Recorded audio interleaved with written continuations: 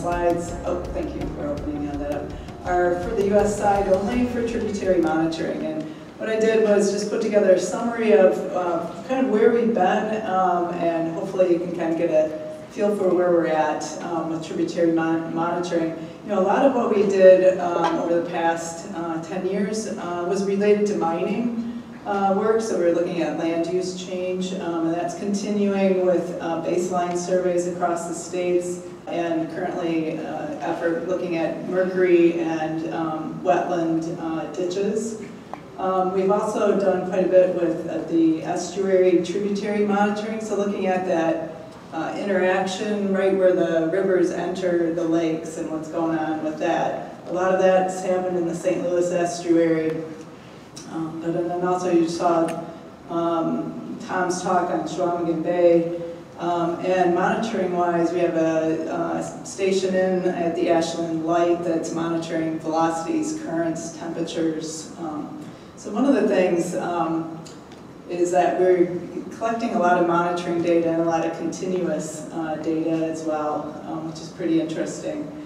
Um, we also had uh, flood inundation um, studies uh, related to those large floods. Then um, there's been additional gauges uh, in some of the gap areas. Um, and one of them that I wanted to mention that came up earlier was uh, Lake Superior as a reference. The Isle Royale, the gauge that we have on Isle Royale on Washington Creek, that's one that has had continuous funding and it's looked upon as a reference for pretty much the entire uh, Midwest, and so we're glad to have that uh, continuing. Um, the other thing I wanted to say about the gauges too is we, we conducted a study on trends in um, stream flows back when we were in drought conditions, so that was like 10 years ago.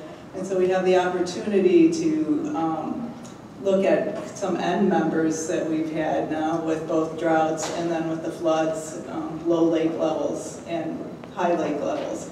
Um, so, and that's kind of a unique thing to have that over the period of time when we've been doing uh, CSMI. Um, and then just in general for the what's going on in the GLRI, um, Great Lakes levels, we have three tributary monitoring uh, stations in the, in the Lake Superior. There's also been um, some modeling of suspended sediment and nutrients. And then um, the Corps is working on a sediment budget. So some pictures uh, showing those baseline uh, studies, and there's a report coming out by Perry Jones at the USGS um, for those data um, from a variety of sources.